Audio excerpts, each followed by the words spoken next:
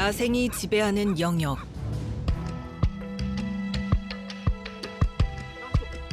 들깨가 생존을 위해 사냥을 합니다. 개가 새로 포식자로 저희한테는 인식이 되고 있긴 합니다. 인간과 불편한 동거의 시작.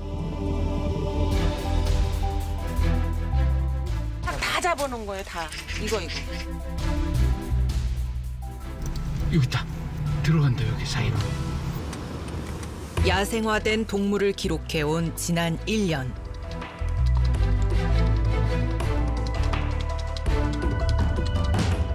그들은 왜 맹수가 된 걸까요?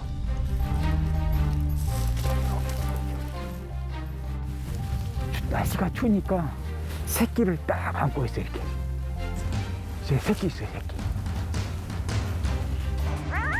함께 살아갈 수 있는 방법은 없는 걸까요?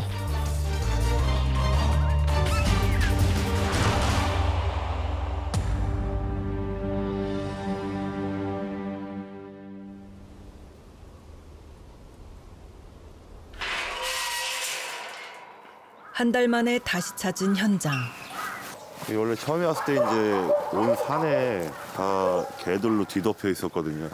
그러니까 이제 위에는 이제 까마귀들이 몇백 마리씩 있었고 야, 뭐야 여기 도대체? 동물구조 활동가도 처음 보는 광경이었습니다. 야, 야, 저, 저 보이세요 지금? 여러분들 이거 보여요 지금 이거 이거?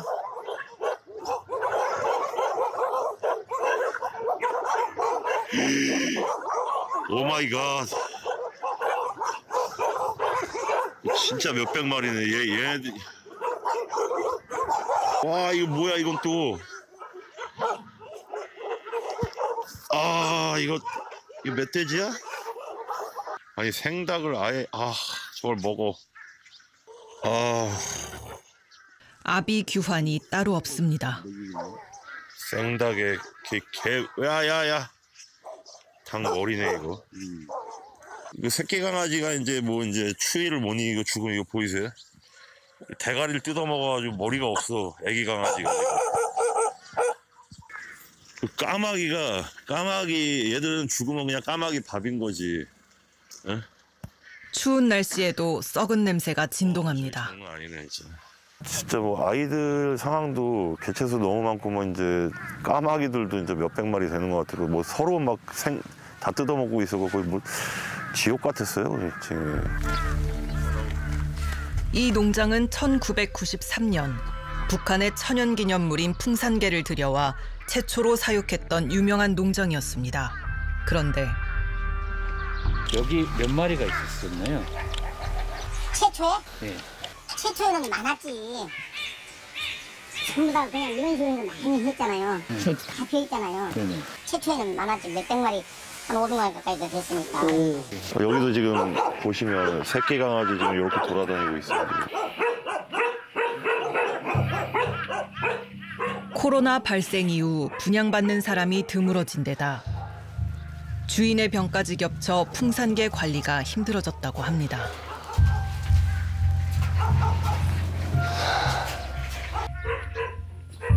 결국 방치될 수밖에 없었던 풍산개들. 주인에게 버려진 겁니다.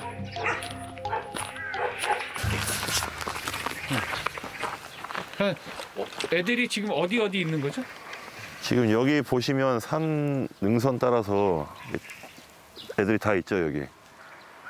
지금 햇빛 쬐고 있는 애들 여기들 보시면 저 위까지 한번 보시면 여기 애들이 쫙 있습니다 저기. 지금 남아 있는 개는 50여 마리. 저, 저 아이들은 저런 큰 포획 틀에는 안 들어가는 거군요. 몇 마리 잡았죠. 근데 이제 그런들이 들어가서 악을 쓰잖아. 네? 악을 쓰잖아. 그 주인놈들이 다 눈치를 채지. 그 옆에서 가서 발로 빼먹으면 아주 들어가지 않았는데. 사정이 이렇다 보니 새끼들은 무료로 입양 보냈지만 성견들의 처지는 달랐습니다. 포획을 시도했지만 아직도 잡히지 않은 녀석들. 침착하고 영리하기로 유명한 풍산개는 포획 틀에 들어가기는커녕 서로 무리지어 스스로 살아가는 법을 터득하는데요. 사실 이 녀석들도 얼마 전까진 주인 말을 잘 들었습니다.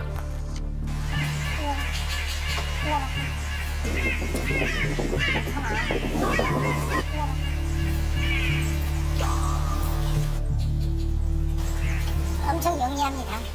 딱 이쪽 거리가 되니까 팍 도망가네요. 밖에 나와 있는 개들이 이게 계속 안 잡히게 되면은 어차피 먹이 공급이 안 되니까 들개가 될 수도 있고 그러다 보면은 여기 가까운 이쪽으로 등산로가 쭉 연결돼 있거든요.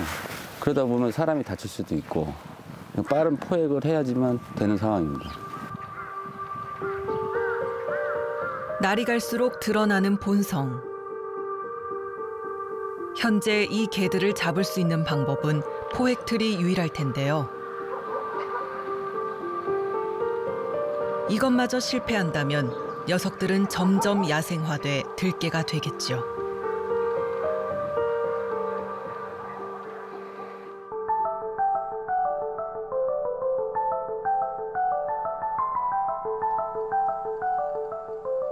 전 새만금에서 들개 두 마리를 만났습니다. 장이와 단이었습니다.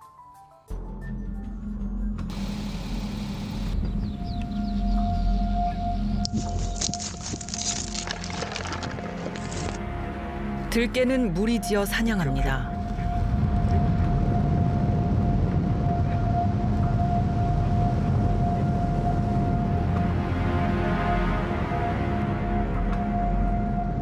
덩치 큰 고라니도 표적이 되는데요.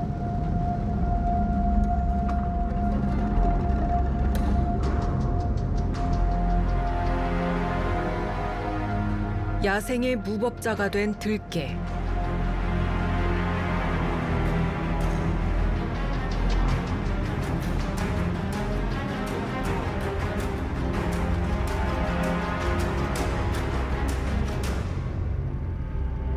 이 녀석들도 처음부터 들개는 아니었을 겁니다.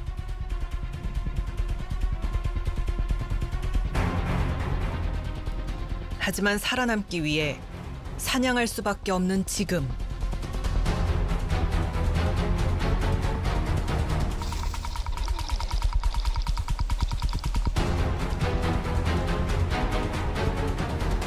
운 좋게 꿩 사냥에 성공했습니다. 먹잇감 앞에서는 들개들도 서열이 있습니다. 같이 사냥을 해도 먼저 먹는 녀석이 우두머리죠. 이 모든 건 늑대의 습성입니다.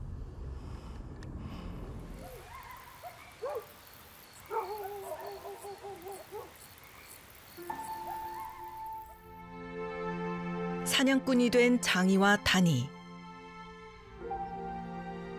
단이는 이 마을 출신입니다. 단이의 단짝 장이도 같은 동네 녀석이었죠. 하지만 새만금 사업이 마무리되면서 주인들은 장이와 단이를 버리고 떠나버렸습니다. 그렇게 잠잘 곳도 먹을 곳도 잃어버린 장이와 단이. 주인이 있는 친구 방울이는 사정이 다릅니다.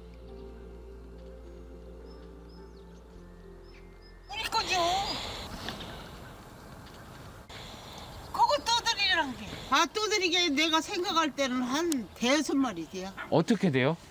노란 거 하나 있고 까만 거 하나 있고 올롭게 호래기가 생긴 거 하나 있고 저거 쟤네 두 마리도 그 물이에요? 어 그거 같이 크릅이요. 주인에게 버림받지 않았다면 방울이처럼 끼니 걱정 없이 살고 있을 장이와 단이.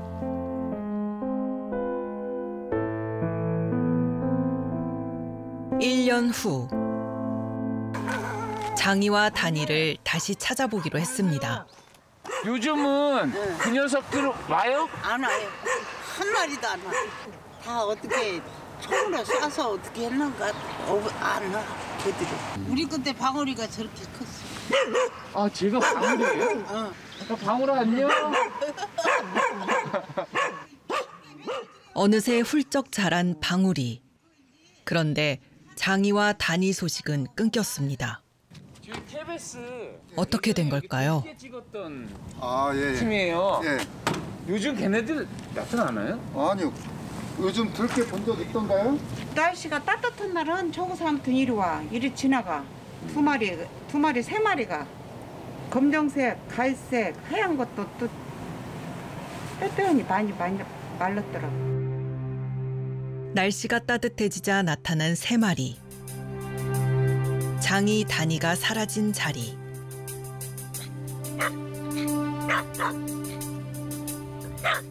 다른 세 마리가 이 들판을 접수한 것이죠. 자신의 영역을 침범하자 경계하는 녀석들. 영락 없는 들깨 물입니다.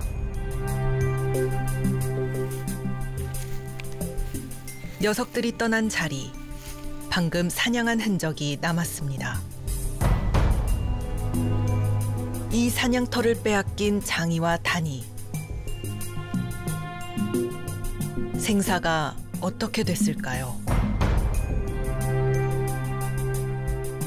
사람들에게 버려져 야생화된 들깨 추적은 2021년부터 시작됐습니다.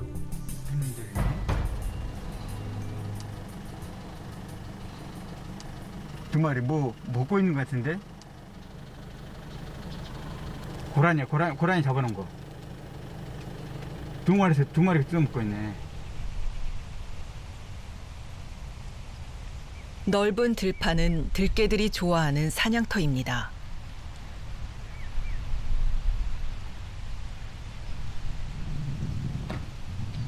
사람들 앞에서도 먹잇감을 포기하지 않으려는 들깨.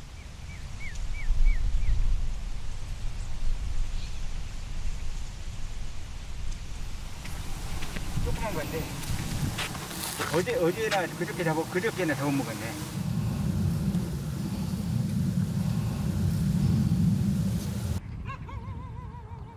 이 녀석들을 더 추적해 보기로 했습니다. 어 여기 있다 여기 있다 여기 있다 두 마리 들어간다 여기 사이로.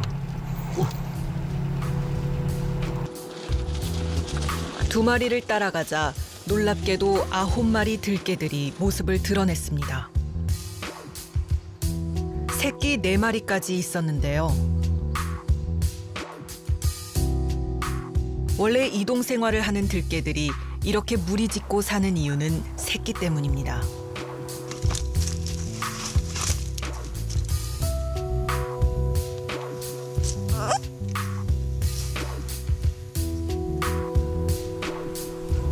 어떻게든 살아남아야 하는 들깨 가족.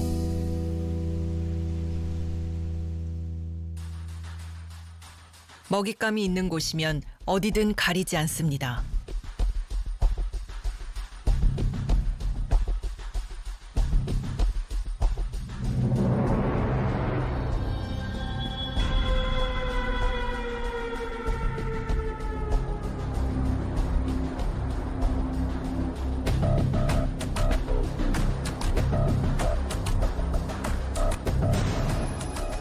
먹이가 부족하면 농가의 가축들까지 습격해 엄청난 피해를 입힙니다.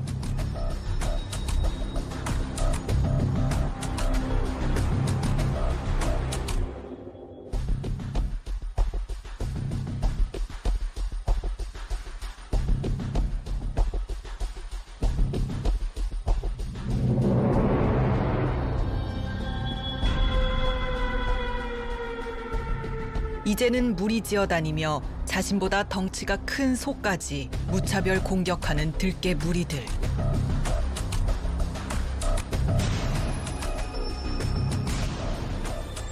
맹수와 다름없는 위협적인 존재가 됐는데요.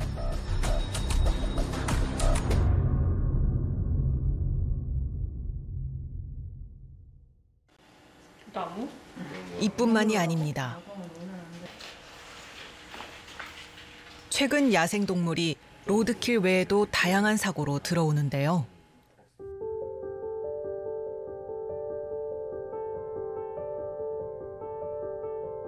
눈에 띄는 것은 동물에 의해 물린 사고가 많다는 겁니다.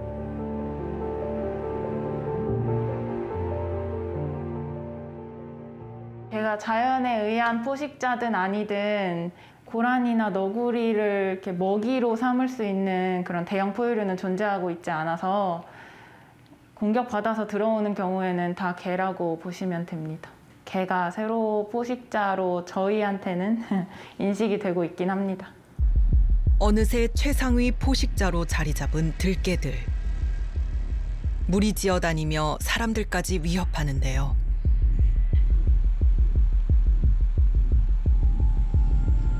이 들개들의 수가 우리 주변에 점점 늘고 있습니다. 매년 구조된 유기견 수는 9만여 마리. 문제는 들개가 은밀한 곳에서 개체 수를 늘린다는 것입니다. 작년 4월 아홉 마리 들개 가족을 만났던 곳. 그럼 백구들하고 네 마리 새끼들이 살던 곳이 여긴가요? 보면은 한 그, 포 있죠 저기. 네네네. 지금 보면은 그 호라나 보이죠. 네. 그 자리로 이제 들었다 나갔다 하면서 사는 거죠. 아, 저기로. 네. 두 달이 지난 후 녀석들을 만날 수 없었습니다. 개들이 네.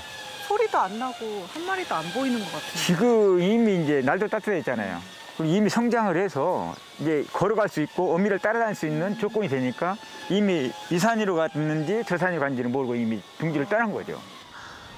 벌써 다 떠난 거네요. 그렇죠. 네. 들개는 생후 10주 정도면 독립합니다. 네 마리의 새끼들도 이미 독립해 둥지를 떠난 것이죠. 피해 신고가 계속되자 안산시에서도 포획령이 떨어졌습니다. 그러나 잡히지 않는 녀석들. 그들의 행방을 찾아 꾸준히 추적했는데요. 도대체 어디로 갔을까요? 여기는 이렇게 발자국이 이렇게 갔고 또 이쪽은 이렇게 왔어요. 이 파이트였잖아요. 여기도 그렇고 와 이렇게 파이졌고 이렇게 파이트였어. 이리 갔고 사라진 게 아니고 지금 발자국이 다 있는데 사라진 게 아니죠. 그러니까 누가 잡지 않았기 때문에 걔는 계속 저기 살고 있는 거죠. 그러니까 있는데도 못 보는 거죠 우리가. 우리 못 보는 거죠.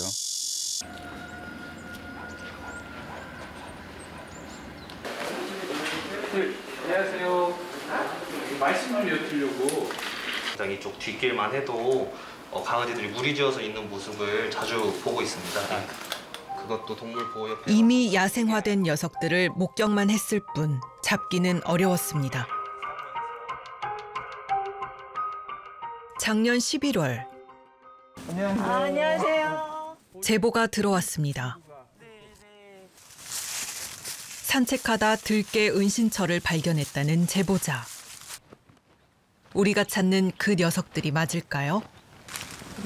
보면 어, 딱 약간 이렇게 발, 발로 다져놓은 듯한 느낌이 몇 마리 있던가요? 그때 네 마리 이상 있었어요. 네 마리 이상. 네, 소리로 듣기에.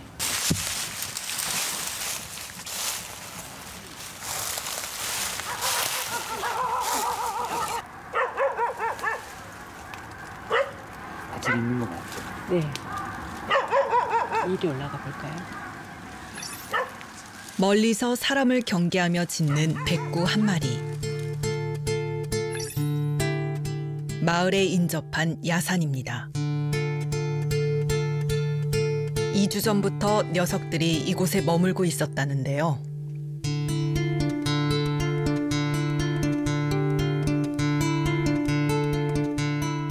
낮에는 사람들의 눈을 피해 햇볕을 쬐면서 쉬고 밤이면 마을로 내려와 곳곳에 쓰레기통을 뒤지면서 먹이를 구하는 들개.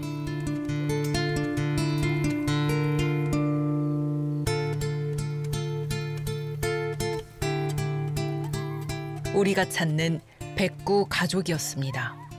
이제 마을을 이렇게 막 활보하고 다니는데 이 밤에는 다닐 수가 없어요. 무서워요. 낮에도 못 다녀. 개 때 보면은 피해 다니고 이제 사람이 이르는 입장인데 이게 자꾸 번식을 해갖고 많아져요. 개체 수가 많아져요.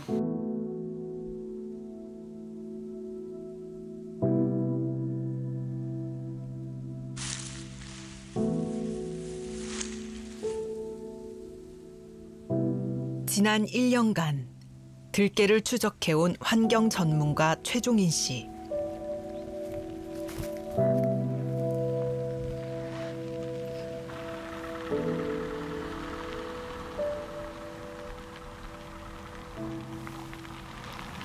이 다녔네. 이리도 다녔고, 아. 됐다, 됐다. 일 넘어갔어, 두 마리. 이야, 명당짜리네. 이게 발자국도. 완전히 발자국들이고 왔다 갔다 했어요. 그런데 안고 있어, 딱 안고 있어, 안고. 날씨가 추우니까 새끼를 딱 안고 있어, 이렇게. 새- 새끼 있어요, 새끼.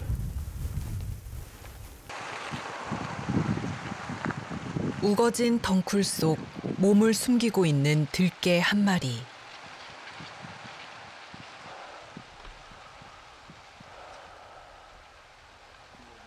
품에는 갓 낳은 새끼들이 있습니다. 아까 한 다섯 마리 있던 것들은 이미 단으로 가버렸잖아요. 가버렸는데 지금 거리가 지금 한 3, 4m밖에 안 돼요. 그러니까 그 자식이 있기 때문에 자식을 보호하기 위해서 이렇게 눈도 오고 추운데 이렇게 안고 있는 거죠. 오, 추워. 백구야.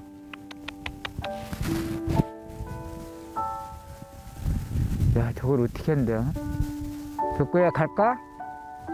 어떻게 추운데? 어? 사람을 보면 경계하며 피하는 것이 들개의 본능. 그러나 새끼를 품은 어미개는 달랐습니다.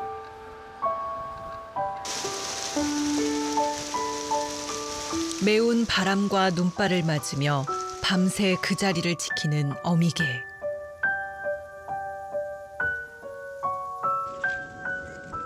모성은 들개의 야성마저 이깁니다.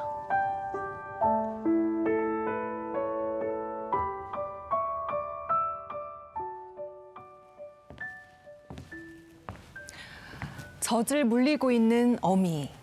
자기 새끼를 지켜야겠다는 진한 모성애가 느껴집니다. 이 개는 왜 이곳에서 새끼를 낳을 수밖에 없었을까요? 경계심과 두려움으로 가득 찬 채 사람을 피하는 건 들개의 본성일까요? 아니면 사람에게 버림받은 기억 때문일까요? 이 개는 처음부터 야생 들개는 아니었을 겁니다. 사람에게 키워지다 버림받고 살아남기 위해 들개가 된 것이죠. 그런데 더 심각한 것은 이것이 들개만의 문제는 아니라는 점입니다. 전남 영광군의 외딴 섬. 안마도엔 190명의 사람들이 살고 있습니다. 이곳 역시 오래전부터 동물 때문에 주민들이 고통받고 있는데요. 문제의 녀석은 사슴. 야행성인데도 불구하고 대낮부터 농가 주변에 내려왔습니다. 이 전부 이게 사슴이 다니는 길목이에요. 오, 이거, 이건 똥은 엄청 커요. 엄, 어, 엄청, 굉장히 나이가 먹은 것 같은데. 일 다녀가지고, 일 다니기로. 근데 이게 뭐, 이게 사슴이 다닌 뭐 이게 길이 없는 거 전체가 다 사슴이 다닌 길이에요. 전부 다 이렇게. 섬 곳곳 어디서나 발견되는 사슴 똥들.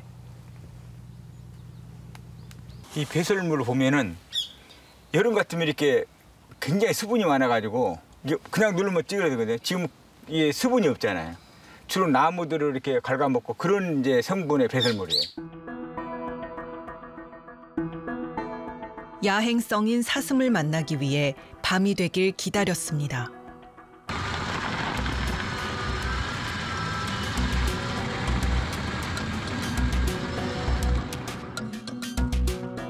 도로마저 점거해버린 사슴떼.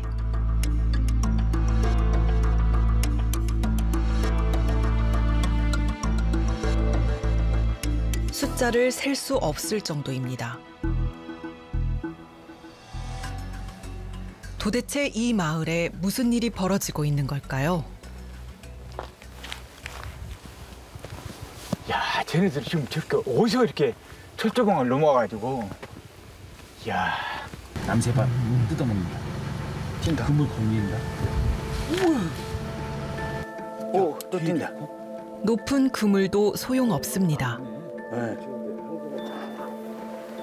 나뭇가지가 흔들리는 것처럼 보이지만 숫사슴입니다. 이야, 저거 뭐야, 저게.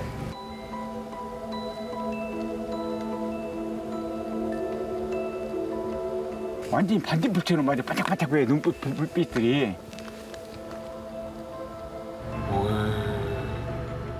이처럼 겨울이면 먹을 것을 찾아 마을까지 넘보는 사슴떼들.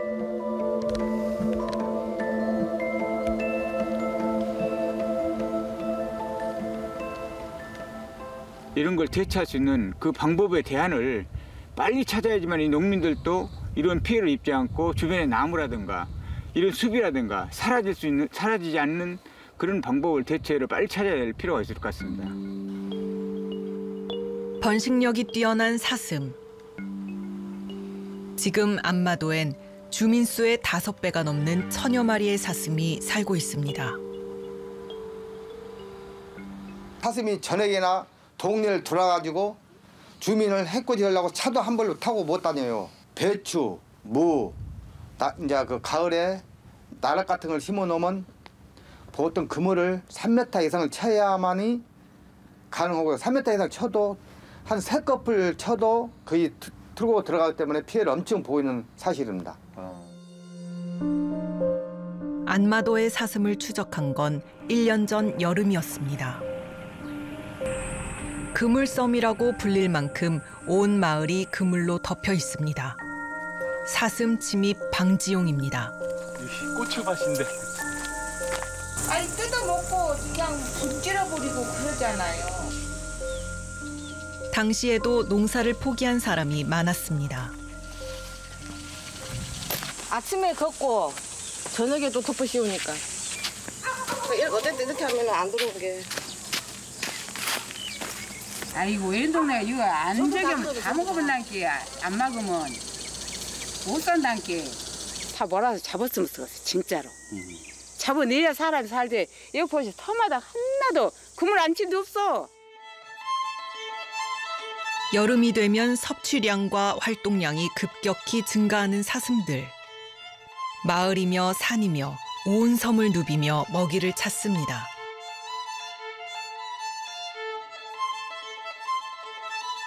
이렇게 사슴이 많아진 건 단순한 것에서 시작됐습니다. 그 이제 이게 원래는 없었던 건데 생긴 게 사람이 데려왔으니까 그렇게 된 거 아니겠습니까? 한 20년 됐을까요? 그전에는 뭐 다섯 마리, 열 마리 미만으로 이제 뿔하고 뭐 몸보신용으로 쓴다고 사다가 방목을 했는데 그게 이제 기하급수적으로 관리를 못하니까 기하급수가 늘어난 거죠. 올 1월 다시 찾은 안마도. 사슴은 이제 본섬인 안마도만의 문제가 아닙니다. 안마도에서 1km 거리에 있는 무인도인 오도.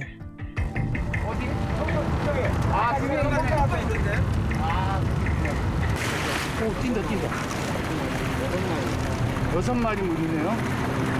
오 저기도 있네. 저 올라가고 있어, 올라가고 있어. 녀석들은 어떻게 이곳에 온 걸까요? 안마도에서 이제 개체수가 늘어나면 자기 이제 범위가 서로 먹을 수 있는 게 적어지니까 그 옆쪽 무인도 섬으로 헤엄쳐서 많이 가는 것 같아요. 횡도, 소성만도, 대성만도, 죽도, 안마도하고 6개 마을, 마을이거든요. 6개 섬이거든요. 배를 타고 다니면요. 온 사방이 사슴이 보통 7, 8마리, 10마리씩이 때를 져서 돌아다녀요.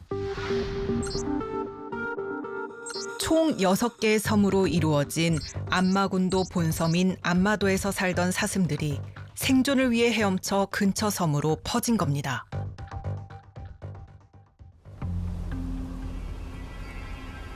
이렇게 주변 무인도까지 사슴들에게 점령당했습니다. 개체 수가 계속 늘어나는 상황.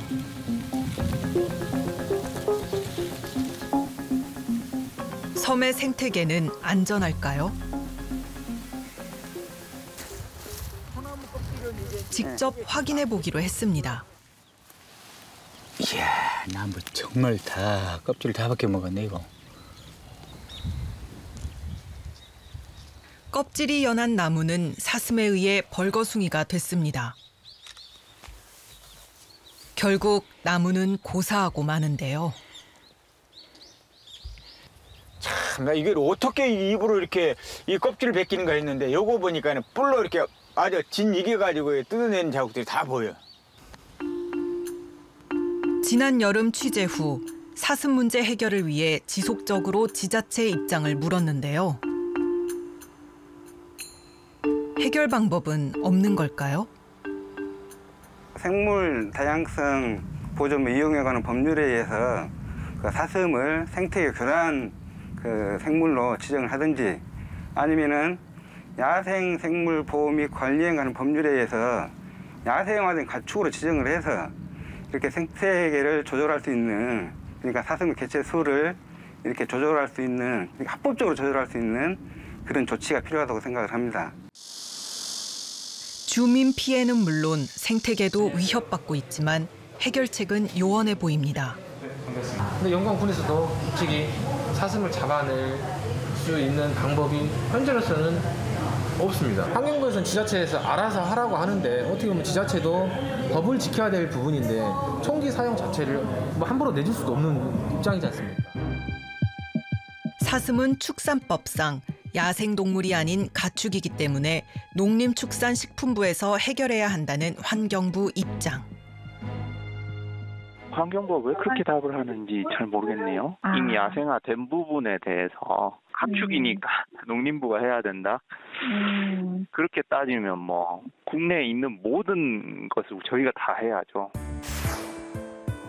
작년 8월 새로운 법안 발의가 예고됐습니다.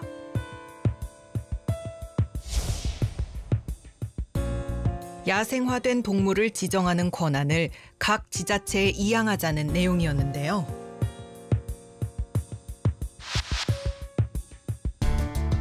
논란 끝에 폐기됐습니다.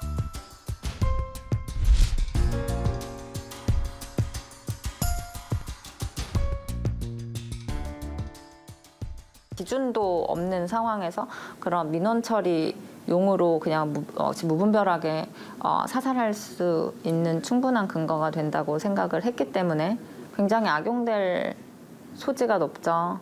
뭐 예를 들어 동물단체 같은 경우에는 당연히 이제 구조해서 보호하고 사회화를 시켜야 된다 이런 방향으로 이- 이야기를 하겠지만 지자체에서는 빠르게 대응 또 이제 사람들의 피해를 최소화한다라는 목적하에 사살해야 된다.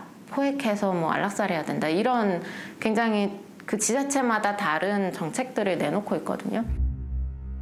법안 폐기의 피해는 동물의 몫으로 남았습니다. 작년 11월 곰 다섯 마리가 탈출했습니다.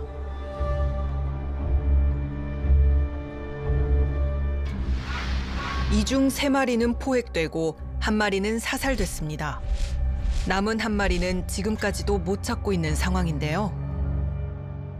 그 몇 달 전 똑같은 사고가 발생해 제작진이 농장을 찾았습니다. 당시에도 곰 한 마리가 사살됐습니다.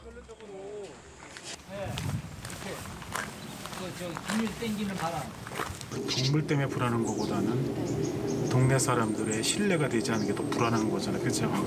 주기적으로 일어났었을 때 노예 예방을 해준다, 어떻게 해주겠다는 얘기를만 해도 결국 내내 똑같은 상황이 재발되니까 곰이 무서운 것이 아니고 인간과 인간 관계, 정보 간의 신뢰가 안 되는 것 같아요. 행성 관계가 더 무서운 것 같아요. 이번이 처음이 아니어서 대책이 필요해 보입니다. 2006년부터 시작된 곰 탈출 사고. 벌써 여섯 번째입니다. 반달가슴곰 두 마리가 탈출했다가 사살됐었는데요. 심지어 인명사고까지 발생했는데요. 왜 이런 일이 계속되는 걸까요?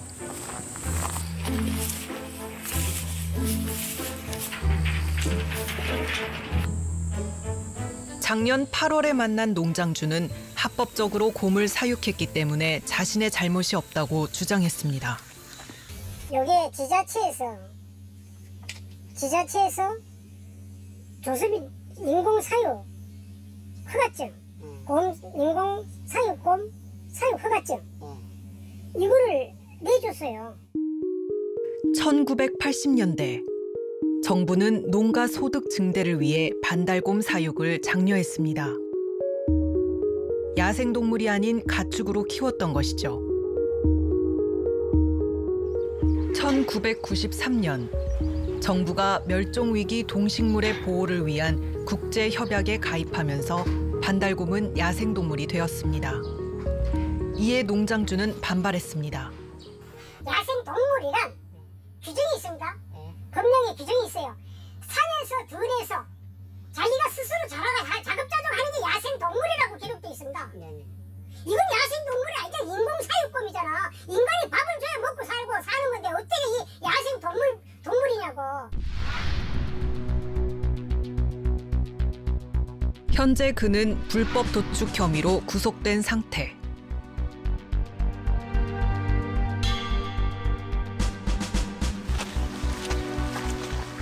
하지만 여전히 소유권을 포기하지 않아 곰들은 방치 상태에 놓이게 되었습니다.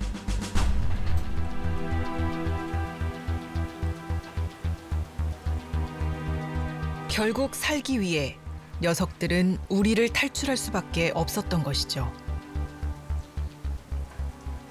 가나 이제 시근이 용이시다 보니까 그거에서 뭐 서포트를 좀 해드리거나 그런 식인 거지 저희가 주도적으로 이걸 나서서 하는 게 아니거든요. 담당하는 게 한강역 한강청에서 담당이에요. 온전히 그 피해를 감수해야 하는 동물들.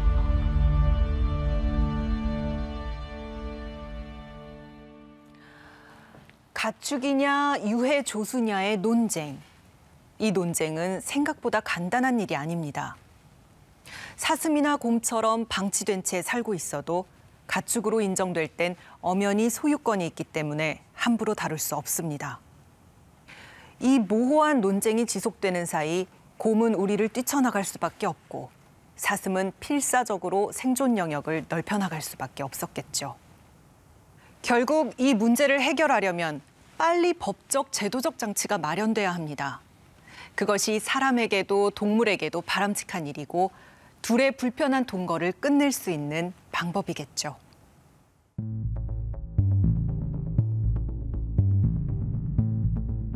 개는 생후 16주까지의 경험이 일생을 좌우한다고 합니다.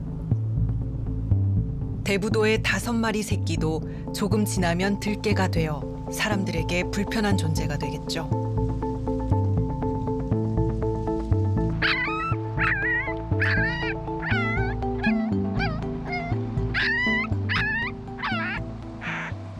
제 새끼가 좀더 커버리면은 데리고 이동을 해버려요. 막 이동해버리고 이제 걔를 이제 사람한테 막 으르렁 할 거. 지금도 아마 이제 으르렁 할지도 있을 거야 아마요. 지금 한 2주가 다 돼가잖아요. 그렇기 때문에 더 크기 전에 쟤네들이 이동하기 전에 빨리 포획을 해야 돼요. 젖을 떼지 못한 새끼와 어미개를 함께 포획하기로 했는데요. 뭐 했어? 모성애를 자극한 동시 포획 작전. 막내, 네가 제일 막내. 어디에 스스고 들어가? 이리 와. 가자, 가자, 가자. 이거 가만히 있는 거야, 알았지?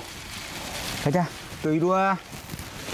가자. 오케이. 여가 있는 거야. 따뜻하니 좋지? 이리 와. 새끼 다섯 마리를 안전하게 포획틀에 옮기고 어미를 기다립니다.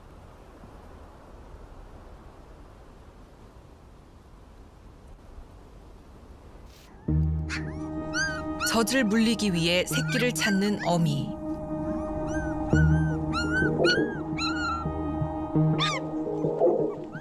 그런데 포획틀에 들어가는 대신 소리로 새끼들을 불러냅니다.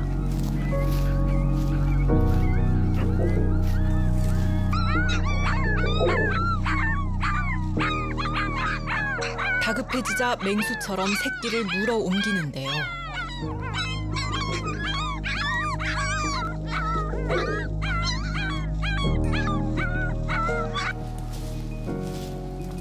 다음 날 새끼들은 어떻게 되었을까요? 가져갔네. 야, 어떻게 이게 새끼가 다 가져갔을까? 새끼가 전혀 없어요. 한 마리도 없어요. 감쪽같이 사라져버린 다섯 마리 새끼들. 어디로 간 걸까요? 이쪽으로 쭉 갔네. 여기서 소리 나요. 소리 나요? 네, 소리 나요. 오, 여기 깜짝 놀랐다. 저기, 저기. 딱 나왔어요. 이야, 기가 막히네. 인근 넝쿨 속에서 찾은 새끼 다섯 마리. 응, 알았어, 알았어, 알았어, 알았어, 알았어. 가만히 있어. 어. 야, 가자. 가자, 가자. 빨리 들어가자. 일로 가. 결국 어미를 포획하는 건 포기했습니다. 새끼들만이라도 들깨가 되는 것을 막기 위해 보호소로 옮깁니다.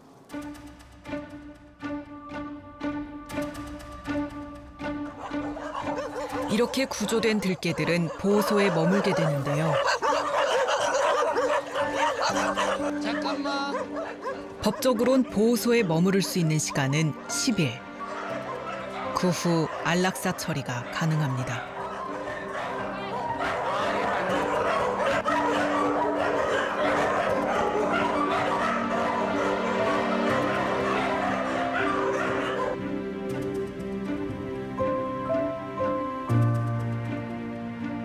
지난해 4월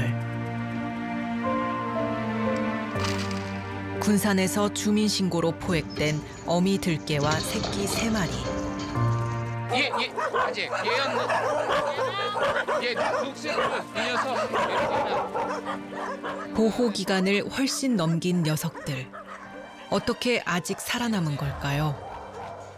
얘들을 최대한 노력해서 입양을 보내야 하는데 들깨다 보니까 손도 안 타고 여기 안에서도 자기들끼리도 융화가 안 되고 그러다 보니까 다들 지금 따로 지금 관리를 하고 있거든요. 근데 그네들은 굉장히 입양 간다는 것이 힘들습니다. 현실적으로. 4, 500마리가 최대 수용인 군산 유기동물 보호센터는 입양이 어려운 들깨들이 많아 이미 보호 개체 수는 한계를 넘었습니다.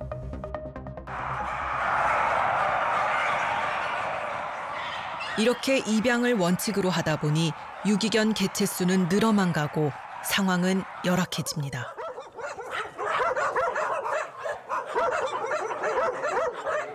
또 너무 포화 상태다 보니까 물림 사고도 많고 애들 아이들끼리 싸움도 많이 있고 최대한 노력을 할 때까지 하겠지만 안 되면 우리가 안락사라는 그 용어를 쓸 수밖에 없는 상황이 되지 않을까 지금 그런 극한 상황까지 왔습니다.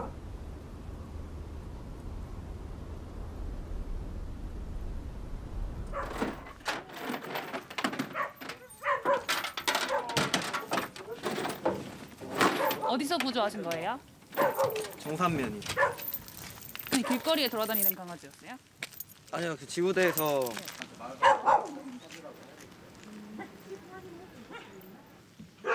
구조된 유기견은 먼저 등록집을 확인합니다. 없네요. 집이 없어요? 네. 대부분 주인을 찾을 수 없습니다. 한 달에 열 마리 정도 들어와요, 우리는. 한 달에 열 마리. 근데 가족으로 들어와요, 요즘은. 주인 올, 올 때까지 기다리고 누가 입양할 때까지 기다리는 거죠.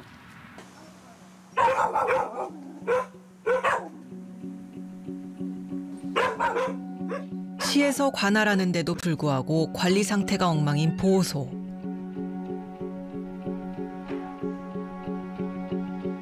입양되기 어려운 환경입니다.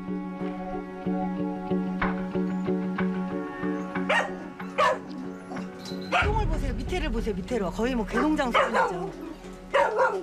여름에는 얼마나 여기가 더럽겠어요. 예산은 한정돼 있고 보호 기간은 계속 늘기 때문이라는데요. 보시다시피 누가 와도 여기를 보면은 놀랄 정도로 더러워요. 예. 그냥 아이들이 앉아 있을 데가 예, 없잖아요. 예, 예. 네, 그런 부분이라든지. 그런, 그런 부분을 예. 해 봤는데 예. 제가 와갖고 해 봤는데 와 그거는 그 이상과 현실은 틀리다고. 아니에요. 저희 제가 선생님 2020년부터 120군데를 지금 다니고 있습니다. 근데 해, 네. 해드, 해드리, 해드리는데 진짜 그렇게 마, 그렇게 하, 하라고 하면은 우, 저는 다 그 뭐야 다 10일 지나면은 그할 수, 안락사를 하시는 어, 할? 수밖에 없어요. 예? 처리가 어떤 거? 안락사 처리를 해야 되는데 차마 못 하는 거예요. 현재 유기견을 보호 관리하는 건 지자체의 몫입니다. 하지만 예산과 인력이 턱없이 부족해 입양이 되지 않으면 안락사 시킬 수밖에 없는 악순환이 계속되고 있는 것이죠.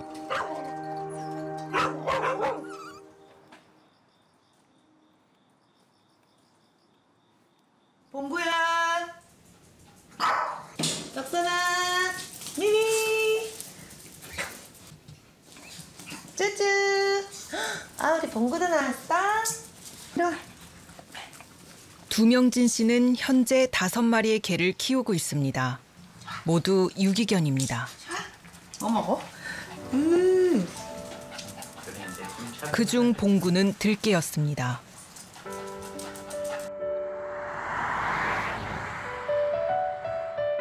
(2020년 10월) 직접 구조한 녀석이라는데요. 야, 얼음이냐? 무서워. 나. 어, 나잘 안 무서워하는데. 그니까. 아. 이거 들어가 볼까?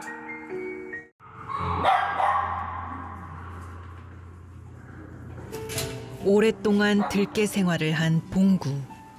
사람에 대한 경계심이 더 많았습니다. 4개월간 매일 보호소를 찾으며 가까워지기 위해 노력한 명진 씨.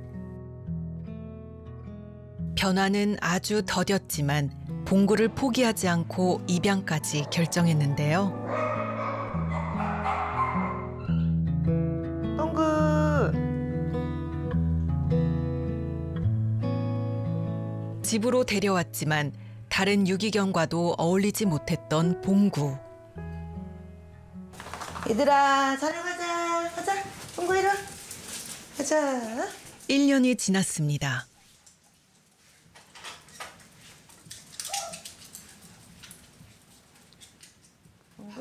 두명진 씨의 정성은 들깨 봉구를 변화시켰습니다. 시간이 되게 시간이 중요한 것 같아요.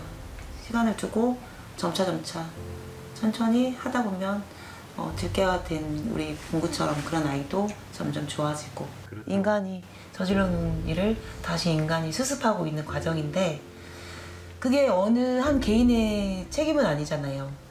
하지만 관심을 안 가지면 더 힘든 그런 상황이 될 것 같고 관심을 갖고 지켜봐 주신다면 좋은 결과가 있지 않을까 싶어요.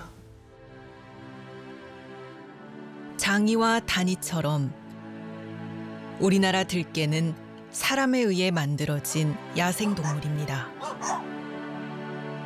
사람에 의해 키워지다 버려져 상처 입은 녀석들. 이들과 불편한 동거를 벗어나기 위해서는 이제 우리가 그 답을 찾아야 할 때입니다.